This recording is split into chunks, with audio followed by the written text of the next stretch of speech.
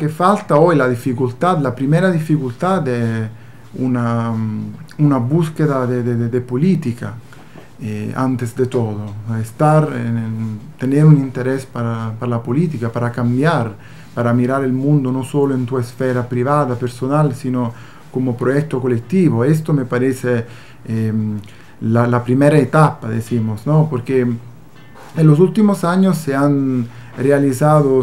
eh, políticas neoliberales en Europa, por ejemplo, antes de todo desde los partidos socialistas y socialdemócratas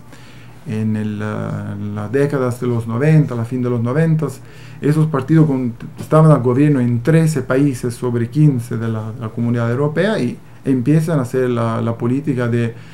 reforma, la palabra no sería reforma porque reforma era algo positivo, después han cambiado el significado de esta palabra, pero de esta reforma el mercado del trabajo que existe hoy y que después con la crisis que ha empezado y que está aún en el centro de su eh, drama en Europa, la crisis económica del 2008, eh, ha dejado la, la, situación como está, con países como España que tienen un porcentaje de desempleo del 25%, ¿no? una condición dramática y también una condición que abre Uh, la, que ya ha abierto a la, la, extrema derecha, la derecha fascista, racista, que existe como realidad concreta, fuerte en muchos países europeos. El ejemplo de la Francia, donde el Frente Nacional ha sido el primer partido en las últimas elecciones europeas.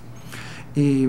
por esta razón, la cuestión ha sido como un decir, la izquierda, la derecha son más o menos la misma cosa, han hecho la misma política, la austerity de la, y la tecnocracia de la Unión Europea y esto ha sido dramático porque ha abierto la, la, puerta para la antipolítica, para decir que no existe más diferencia,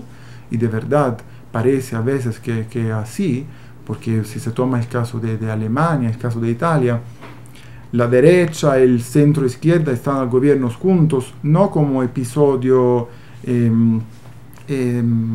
eh, incidental, accidental, están al gobierno juntos hace muchos años y siguen esta, esta política eh, de la austerity. Y, y, por eso ahora hay el rechazo de la política, que por un rechazo a la política subalterno a la, a la ideología dominante, no, no, tiene esta idea de la internacional como alternativa de sociedad, construir o luchar por una alternativa, tiene la cosa de decir, son todos los mismos, y, no es productivo por una crítica al sistema. No, Marx en toda su vida ha intentado de representar el capitalismo como lo que era, como algo histórico, algo que podía ser cambiado. En los últimos años parece que el capitalismo es el único horizonte eh, económico, social eh, que, que, existe para la humanidad. Y hoy se habla de la posibilidad de la fin del mundo por el desastre y contradicciones ecológicas, pero nadie toma como tomaba la internacional la idea de alternativa al capitalismo, de una alternativa de sociedad. Por eso estos documentos pueden ser